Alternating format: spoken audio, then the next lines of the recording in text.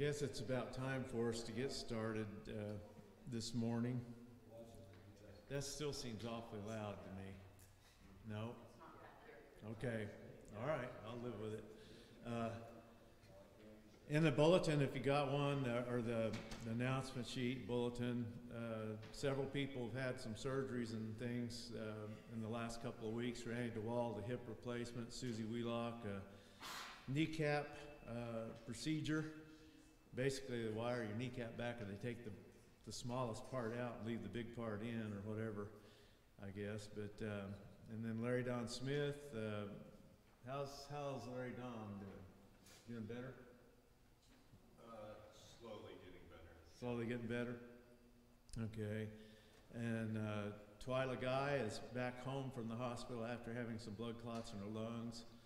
Uh, Patty Peacock's friend Debbie uh, uh, Debbie from Duncan is in the ICU with COVID at uh, at uh, Oklahoma City at the university. That's Debbie Cowley. Um, Nicholas Unruh, Debbie Watson's cousin, is fighting fires in Oregon. And Tammy uh, Postulart, uh, which is, uh, we knew her as Tammy Deisher, Jolene's daughter, had a bad cut in her finger and cut some tendons and, and had to have surgery for that. Wayne Lawson's still dealing with infections in his legs, and Al Norman um, is uh, kind of on hospice. So we need to keep them in mind. Anybody have any other prayer requests or needs? Well, uh, just Dick finished his, uh, radiation last week. Okay, Dick Hefner finished his radiation last week. Is, the- They don't know the full results yet for, Right. to get all the data in, so. Was he having like weekly treatments for a while? Every week or Taking them for about six weeks, I think it is. every day probably for six weeks? Five days a week. Okay, that's, that's a good thing to be they've over got with. 'cause- Appointments tomorrow and the next day in the city. okay. It's not, I'm just doing things. Well, let's pray together uh, as we get started here. Father in heaven, we're uh, thankful, God, that you are our God, that you are a Father, that you love us, that you uh, do so many things for us. And uh, we, we have some requests, God, that you be with these people that we mentioned in the bulletin, and as well as uh, with our country and with our president and first lady who have been diagnosed with COVID and just uh, help uh, help us all heal from this pandemic and and uh, find a way for whether it be a vaccine or a good treatment for it that, that it can be uh, shut down. We ask God that you will be with each and every one of us as we walk through life, that we'll be strong for you, that we'll live in love and, and uh, with your word. In Jesus we pray. Amen. We're going to get started here. I just noticed my glasses, my, my reader glasses broke, so we'll see how that works now. But uh, um, maybe I won't need them if I stay back enough. Uh, we've been talking about the great Christian evidences and things that are going on um, in Christianity that started happening right after the church started, and in that first few centuries after the church started, uh, they came up with these great Christian doctrines. Uh, and it's things that you say, okay, so they came up with these great Christian doctrines, you know, what's it worth? Well, we talked last week a little bit about how through that we can understand that Jesus had all authority. He had the ability to give some authority to the apostles, and the apostles had the authority to write and uh, they did. And through that, we have the Word of God, the Bible. And at the close of the Word of God, the Bible that He gave, or the words that He gave through His apostles and through Jesus, He stopped talking to us. And then we are now at that time where we have to live through the Word that we have to do what He would want us to do, to be what He would want us to be. And part of that is uh, we need to talk about different subjects of the Bible. The subject we're going to start on today a little bit is uh, the subject of God. We started this class in the very beginning asking, well, who is God? Why do we believe in him?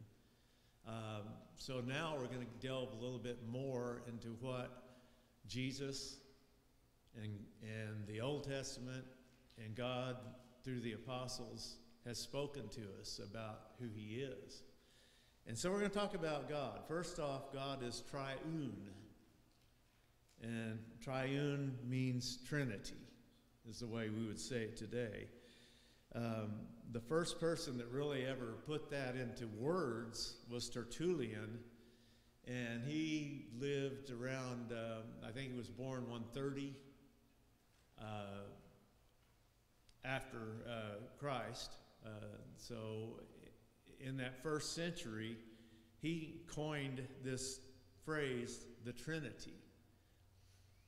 The Trinity, as we know it, as we are used to saying it, is it's God, Christ, and the Holy Spirit, are the Trinity, and they are one. Um, and we're going to talk a little bit about how we get to that. So in the Old Testament, it's implicitly implied that God is plural, that there's more to God than just God. In the New Tes- Testament, it gets explicit talking about that. But it's not as clear in the Old Testament that it's that way. There are hints at it along the way, but it doesn't get very explicit until we get to the New Testament. Why do you think that is? From, from what we've talked about in class, why do you think that might be? Any ideas? They probably wouldn't understand if we tried to tell them. And now, after that, they had Christ in the person, in physical form, so they could see him, and that made it a little easier.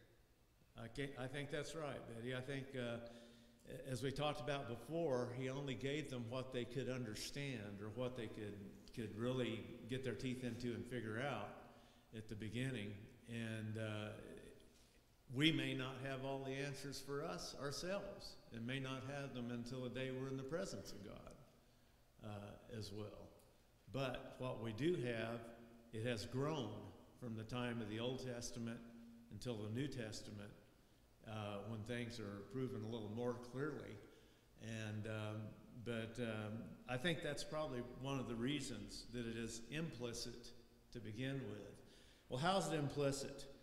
Uh, Deuteronomy 6 4 says, Hear, O Israel, the Lord our God, the Lord is one. That's the Shema. Um, the Shema is, is the thing that was kind of the, the foundation or fundamental plank that the Old Testament stood on. Hear, O Israel, the Lord is God, the Lord is one. Um, the Lord our God, the Lord is one. And if you look at Genesis 1 1, the very first verse talks about God. And the word that's used for God in Genesis 1 is Elohim. Elohim is a Hebrew word that connotates plural, plurality. So that's one of those implicit ideas that, okay, it says, the rest of the time we see it as Jehovah, um, things like that, because they didn't want to say God's name. When Moses asked, Who shall I say sent me? Tell them I am sent you. That's what he said his name was, as I am at that point. But um, nevertheless, in the Jewish uh, history, they didn't want to say God's name out loud. So they, they represented it with uh, Yahweh, which is the Hebrew for Jehovah. Um, but the Elohim is the word that explains him in Genesis 1, and it is a plural word. Like there was more than, not more than one God, but God was plural for a being. Elohim is a plural for a being. Um, and then when it says in Genesis 1, let us make man, let us make man. What did it say before that in Genesis 1 when he was creating things? God said, Let there be light. In our Bibles, you know, other than uh, let us make man, makes it more of a plural thing. The very beginning, we talked about that. God didn't, didn't create us as a creation because he was lonely, because he never was by himself. God has always been the Messiah, he's always been the Spirit, he's always been God. Okay? Has that got everybody confused? We're going to go on a little bit. Uh, he also talks about uh, the spirit of, of Jehovah, the spirit of um, the Holy Spirit, and, and anytime there's goodness or deity that's being explained, uh, whether it's uh, Jesus or whether it's God, uh, it's kind of a theophany, uh, and it, it, talks about the angel of, of Jehovah or the angel of God, the angel of this. Um, so the doctrine in the Old Testament is implied if you know what you're looking for. But when we get to the New Testament, it changes about this Trinity idea. In the New Testament, it stresses that um, as strongly as it does in the Old Testament, if not more strongly than the Old Testament, about there being a Trinity. Um, it's clearly taught, and in the passages in which it is clearly taught, uh, it shows the personality of the Holy Spirit, and it shows uh, the humanity of Christ, and it shows God, the all powerful, as well. Let's look at uh, 2 Corinthians 13 14. And again, you might want to jot these scriptures down because there's going to be a few of them, but uh, so you can look at them later. But 2 Corinthians 13 14. The grace of the Lord Jesus Christ and the love of God and the fellowship of the Holy Spirit be with you all. Uh, and it, it, I think it says, May the grace of the Lord Jesus Christ and the love of God and the fellowship of the Holy Spirit be with you all in those in that verse. Um, what does that say about the Trinity? Okay, it names all three in one spot there with it. And then, then uh, let's look at Romans 15 30. Now I urge you, brethren, by our Lord Jesus Christ and by the love of the Spirit, to strive together with me in your prayers to God for me. That's Paul writing. Now I urge you, brethren, by our Lord Jesus Christ and by the love of the Spirit, to strive together with me in your prayers to God for me. Again, we've got all three of them in the one spot uh, there in one verse that it talks about. Luke 135.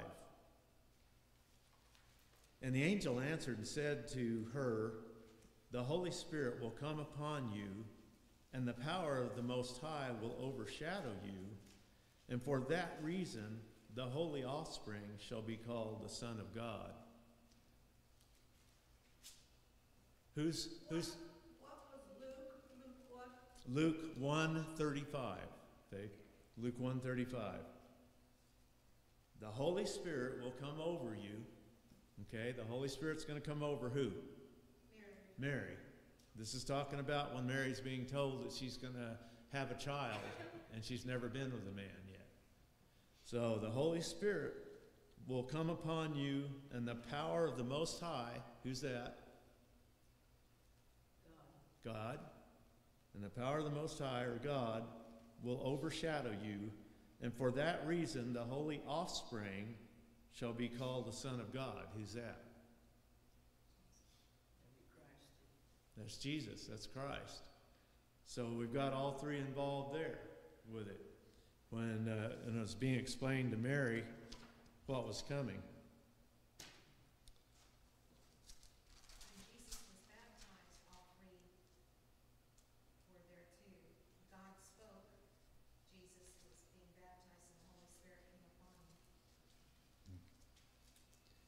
Matthew 3 16 through 17, Debbie's talking about. that's fine, that's fine, that's good. Whoops, we're getting a ring.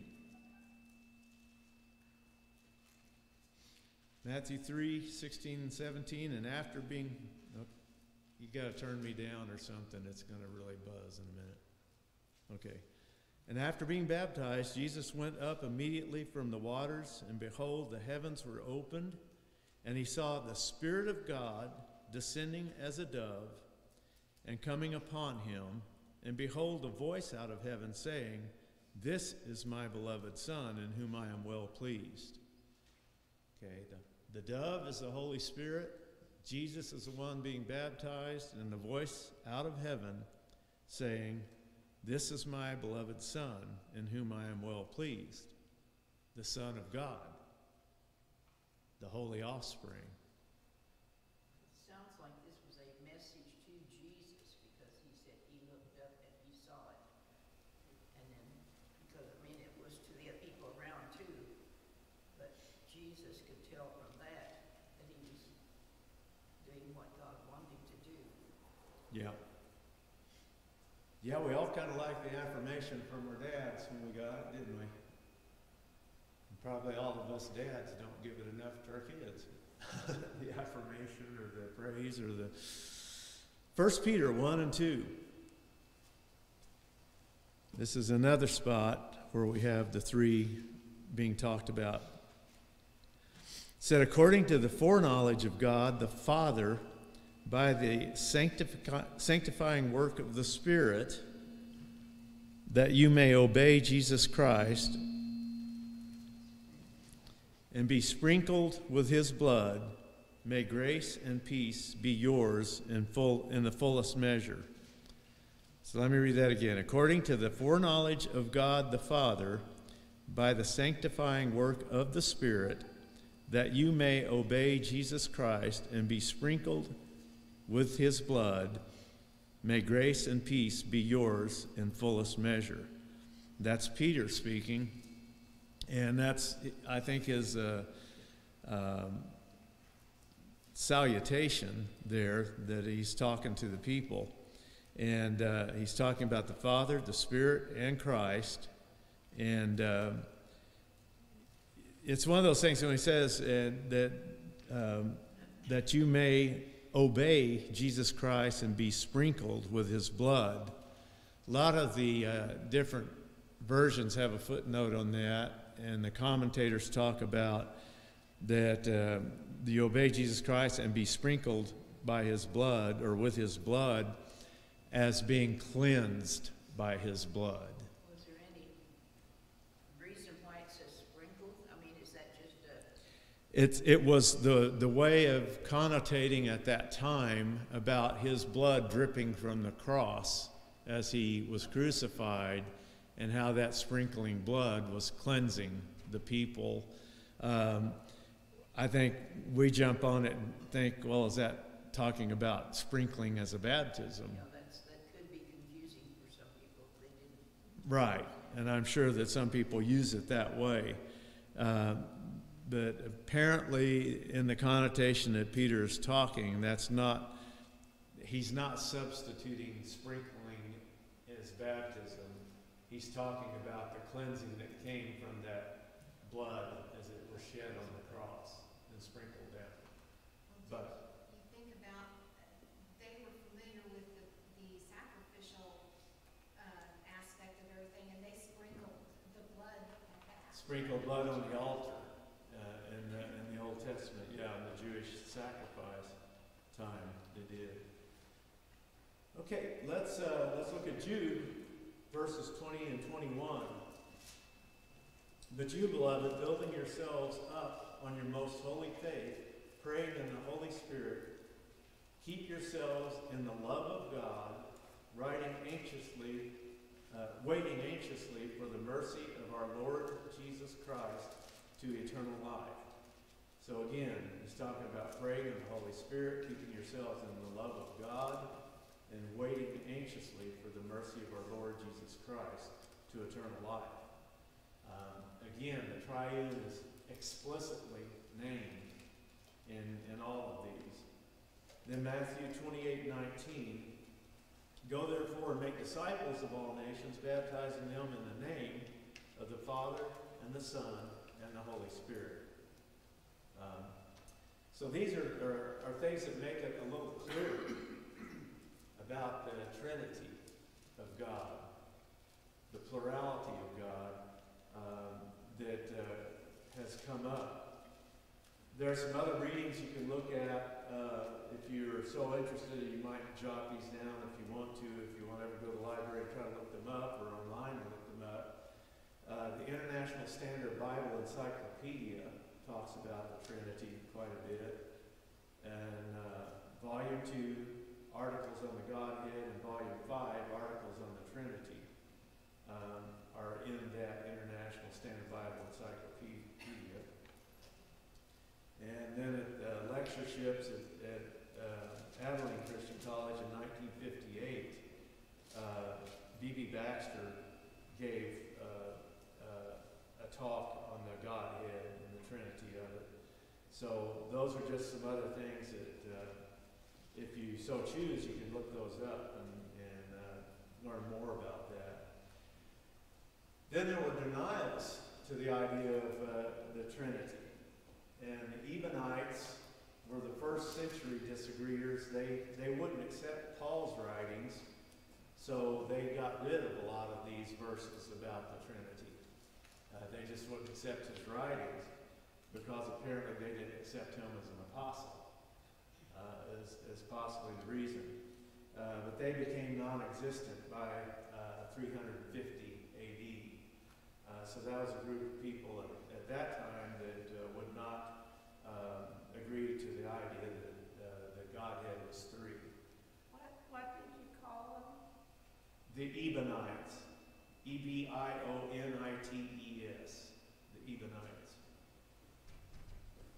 Then we talked before about Arius, uh, who was uh, uh, a elder in the church in 318 AD at Alexandria. And uh, he, he said there was a time that uh, the Logos was not, that, God created the Logos before he created anything else, before he created the world. And so he was a separate part, and not really part of the Godhead. And then we talked about Athenius, Athanasius uh, was the deacon who voiced complaints against him, and then the government got involved, and then they had the Nicene Council to try to settle this rift. Um, uh, the uh, Nicene Council felt in the favor of the deacon and not the elder that there is a Trinity. And Socinius is an Italian theologian and in 1539 to 1604. He uh, uh, did not believe in the Trinity and voiced his opinion. And he was a, somewhat of a contemporary of uh, Calvin and Luther, um, the ones that uh, had started some of the stuff at Lawton. Okay, I thought they were still there, uh, but they don't believe in the, the Trinity. Uh, and they don't believe that those verses are pointing to that. Um, does anybody have any doubts that those verses are talking about the Trinity in the New Testament? Or are we just trying to talk ourselves into something? God in there and then, and then his, in form, in physical form, and then his spirit that does everything. You know, it's kind of hard for us to understand the Trinity. It's, hard to wrap your head around that idea. Um, my simplistic mind, and this is way too simple to explain it, is that, uh, you know, I'm, I am a son, I am a father, I am an uncle, I'm a doctor, uh, I'm somewhat of a carpenter. Uh, you know, there's a lot of things I am, but I can't say that I am is my name, like God could. When he says, who, who do I say sent me? Tell him I am sent you. That kind of covers it all, you know? And we'll get into that some more about the attributes of God as we go on here a little bit. Um, Any questions about this at this point? If not, let's go on to talk about those attribu- attributes, the metaphysical attributes of God. Um, who is he, or, you know, how, what can he do, what can he not do, and that sort of thing. And, uh, the guy that, Dr. Kelsey, that was teaching this class when I took it for a semester at uh, OC, he also was at the ACC lectureships in 1958, and he did uh, a presentation on the presence of God. And I, I bet you'd probably enjoy that if you look that up. Um, I don't have a copy of that uh, with me at all, but uh, um, he talks about the divinity of God. That's the absence of limitations. The absence of limitations. Um, Psalms 145 and 5 says, Great is our God and abundant in strength. His understanding is. Infinite means what exactly? It's- That's a good question because that's one of the points. That's part of what he is. We, we don't have a good way to explain what Finite infinity is is. something small. Infinite is something that is un, No end. yeah. No end. It's like eternity. No beginning, no end. It just is. And infinite knowledge is something that we can't understand. We can't really put it into a good word or a good definition, and everything we try to do is, is, is not good enough to really explain what it is. Uh, we don't have an analogy in man about what that is. But part of that is that he is omnipresent. We've heard that before. Uh, God is not limited by time or space, either in concept or in reality. He's not, he's not limited to time or space. I have often wondered and thought about how many times are all the prayers that go up to God constantly, you know, but he, he gets it. I mean, we can't, but if I have one child talking to me, I can understand it, but if I've got two or three that are talking at the same time, Yeah, the older we get, the harder that is. You know, it just, you just can't. The TV's going, and Chris is talking to me in the bed next to me and is saying something. I have to, huh, what? You know, and, and turn that off and turn my head this way to hear and stuff. So, yeah, yeah, but he, he is. He's not, he's not restrained by time or space. There are two units in existence, two things in existence. There's God and the universe. was that a question? I get- didn't understand what you said. There, there are two things in existence. There's God and there's the universe. Or in other words, there's God and there's everything else. And one permeates the other. God permeates the universe. God is everywhere everything else is. And, and then, you know, I've often, you know, wondered about that, To say that God sees you all the time, knows you all the time, He's there all the time. But what about on the other side of the earth? You know, to start? If He knows and sees me all the time, how can He know and see people over there all the time? You know, well, He is not limited to time or space. And we can't understand that. You know, we don't, we don't get that in, in a full way to explain it anyway. He fills everything. So in Acts seventeen twenty-seven, it says they, that they should seek God, if perhaps they might grope for him and find him, though he is not far from each one of us. He's not only where he can see me, he, I'm part of the universe. He's through me. He permeates me. God never needs to move to another place to be able to get closer to you. He never moves to get closer to a place he needs to work. He's already there. There isn't a way to get any closer to God than you are right now. Any one of us. We can't physically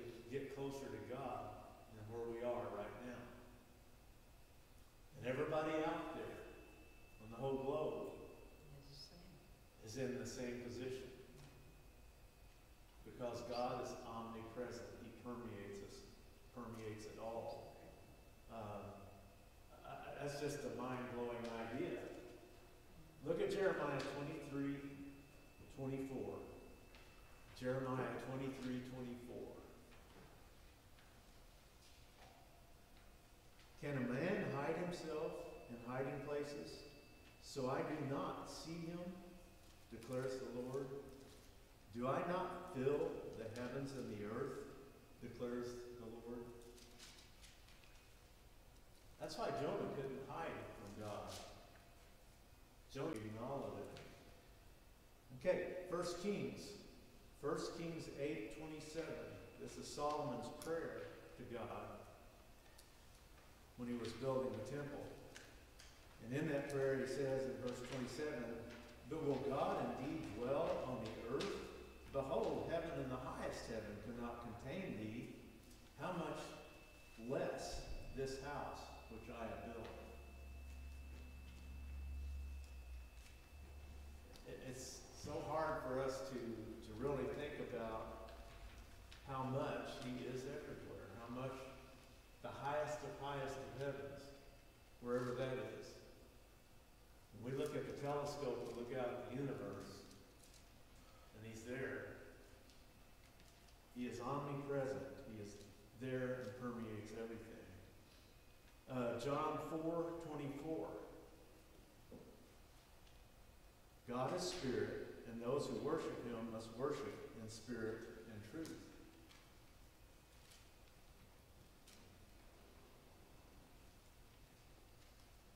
I think that's kind of one of those things where he's reminding us that he is all these things that we can't define.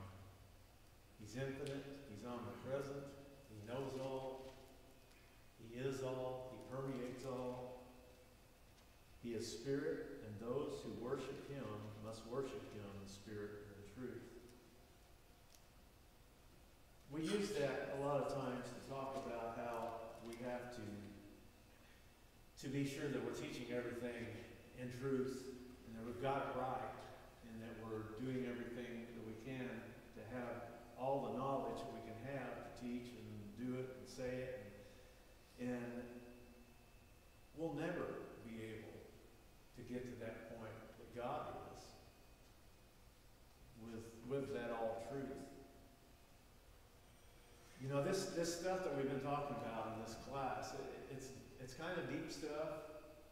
Um, you know, it's really deep as far as you have a full, true understanding of all of it. I don't know that we can. But the fact of the matter is, if we get down and have all our, our T's crossed and our I's dotted and everything else, and if we're just standing here cramming that stuff and don't have the heart to reach out to others, we're worthless. We're worthless to God. And it, you know, I, I hope that this never comes off as something that knows all answers or it's got to be this way or the highway. Um, in one sense, because uh, you know we tend we're tending to lose people. We're tending to lose people um, toward Christianity. And I hope that we will always have the heart and the love to make Christianity palatable and not legalistic to the point that, that they don't want to hear it. Because God is. Through all of this, God is love. And we, we have to be careful about that. I'm just saying, I think. Um, the, the chapter of Psalms 139 talks about the greatness of God and where He is and stuff. I, I'm not going to take the time to read that because it's a fairly long chapter, but read Psalm 139 maybe when you get home today. Uh, some passages seem to uh, contradict what we say about God being everywhere all the time because it gives a manifestation of God, um, like the, in the burning bush. Well, if he's in the burning bush, how can he be at the other end of the universe? You know, that kind of thing. Well, a lot of this is, is for us to be able to understand it, putting it in language that we can understand uh, some of these other attributes of him. He's spoken of sometimes as figuratively, uh, to in accommodating language, putting it in language that we can understand, and in anthropomorphic language, or that which is putting God with human feelings, making God a man form. Does that sound familiar? God in man form? Jesus is really anthropomatic, uh, you got it wrong time. Anthromo, anthropomorphic. I got them all right there. Anthropomorphic, uh, because he came and he was God in man form. James 4 8, draw near to God and he will draw near to you. Cleanse your hands, you sinners, and purify your hearts, you double minded. Draw to God, he will draw near to you. We just got through saying he's already there. But it's to get us to understand the only way we can feel closer to God is to draw near to him. And he's there. Ephesians 2:17 and he came and preached peace to you who were far away and peace to those who were near. And then one more I'm going to give you is Acts 2:39. For this prom- for the promise is for you and your children and for all who are far off, as many as the Lord our God shall call to himself. So God is here, he's omnipresent, he permeates everything, he's with us. We don't have to go far to find him. He'll be there. And that's, that's the best I can say about his omnipresence. We're going to go on to omniscience next week. Uh, I think it's time to stop, is it not? Okay. All right. So we'll, we'll go on with his omniscience next week and uh, go from there. Omniscience is all knowledge, if, if you're wondering for sure what that is, all knowledge. Faye, did you have a question? No? All right. Well, thank you for uh, staying with me with